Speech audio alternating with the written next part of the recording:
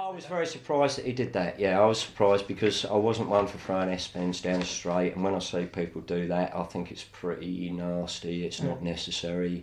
You know, when you you know you can push people wide, you can close the gap. I've always been one for leaving people enough room to get themselves out of trouble, but hopefully they'll lose 15 yards, not taking them all the way and over the top. And some people do that. You know, you've seen yourself. Some people no mercy, and uh, but Pennell did that to me. And if I'd have lost it there, mate, I would have really hurt myself. You know, that hmm. was would have been nasty.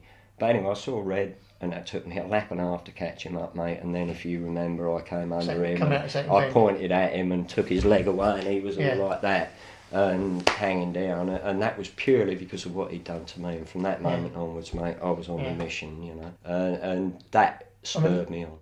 Nothing caused the problems other than me doing what I did. And they put a roadblock up, got me. By now we're down at Leicester and they've run me off the road. And of course, I had a bit of cannabis in the glove compartment. And when I say a bit of cannabis, I'm talking like a bit of cannabis the size of that. And a pipe, and of course, that's it, mate. Straight away, they took me off. they knew who I was. They thought I'd nicked the car to start off with, so that's why they pulled me. And then they found that they took me off. I've explained the situation. I'm on my way home. I'm racing at Halifax. They got me through in half an hour and processed it. Great, but I'm charged with cannabis, which is in the press. Uh, I've got home and I've got back to Halifax that night. He rode Halifax. Yeah, I got back Yeah. to Halifax that night. Yeah, actually made it back. Um, but yeah, that was then the beginning of uh, obviously a lot of pressure because you know I had a court case come up with the cannabis and the press knew about it and it was all in the press and everyone's pointing the finger at me and you know they're all saying that's why it's all going wrong. Well, that was nothing to do with it going wrong at all. You know, I, I don't care what anyone says. That was nothing to do with it going wrong. The drugs weren't a problem. The drugs became they didn't even become a problem. You know, the only problem was I could never score them sometimes. what can I say? No, but the drugs weren't a problem, and it was the was problem? like there. It was my attitude towards the authorities, who I felt were now starting to penalise me Hmm. for things hmm. that they should be helping and encouraging. I wanted to be outside of the speedway. Yeah. I wanted You another looking for life. other things. I wanted an outlet from Speedway, hmm. probably, yeah, because everything I'd done from 14 years old hmm. was totally Speedway, Speedway, Speedway, mate. And maybe that was the biggest mistake for me, you know. And people say, well, you know, I bet you wish you'd gone on longer. And to be honest, I, I'd never, if I do think about it, it doesn't worry me because, yeah, I could have gone on longer, but and I wouldn't change a thing. You know, people say about the prison side of things and everything that happened, mate. It, life has been a big experience. That's all I can say. And I said this to my dad the other night. He come over for a barbie, and even he wanted me to say, "Well, surely you feel, you know, you, You change some things." Yeah. Yeah, yeah. And I said, "No, I wouldn't change a thing. It's been a bloody big experience." How can you mate." look back and, uh, and having to spend the time in prison and, and, and get anything from that? What did, what did you take from that? And what you was learn, it? you learn about society. What did you, how long did you spend learn. in, in prison? What was it? 18 months. What Actually, what- 18 months in prison. What year was that? Like? 98 till 2000, just before Christmas. Actually, I mean, I've done more time in prison because I've had two other sentences as well.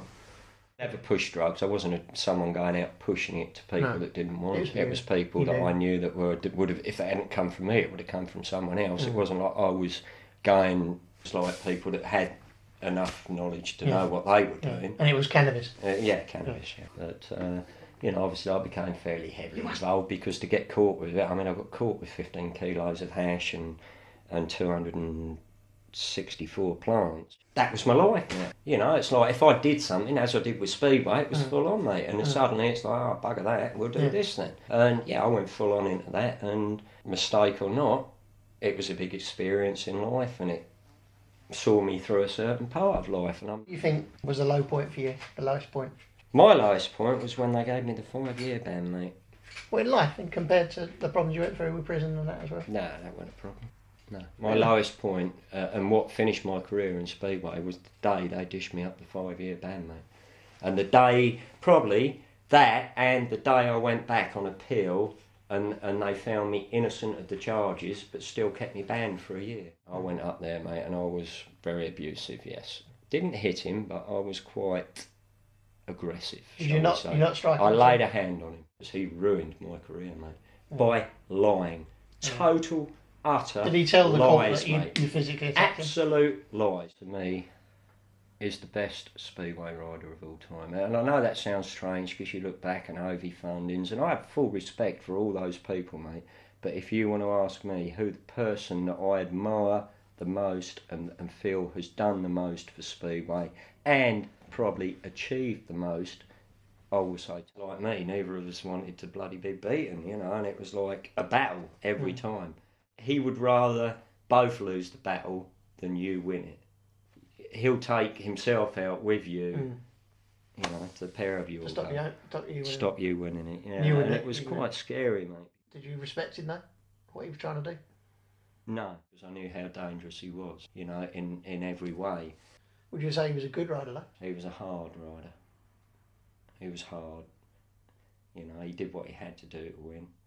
I don't, you know, yeah, he, yeah, he could ride a bike. I mean, you don't go that fast without being able to ride the bike. But I didn't like the way he did it sometimes. I mean, it's like no one's going to win everything. Kind of went from there, and then uh, Dad went, "You ain't going near him. He's the biggest pothead in East Anglia," and that freaked their old man, mate. Yeah, Yeah. it was like freak me out.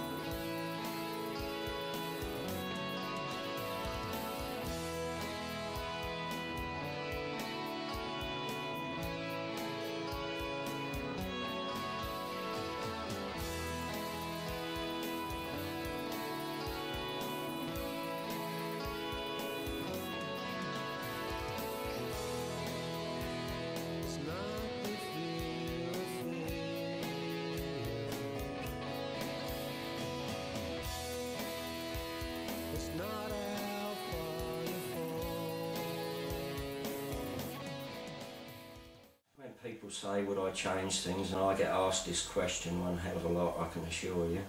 Um, I've had a lot of experiences in life, and um, overall, I think I've learnt a lot through some of the things I've done, which you know is, is a good thing. Some some things good, some things bad, but you have to do these things to experience and learn about life. Overall, I feel that if I did have my time again, not that much would change. You know, I've made mistakes, but everyone makes mistakes, and, mistakes are what you learn from. And you know, I'm not saying I'm proud of some of the things I've done, but they've given me a good insight into general life and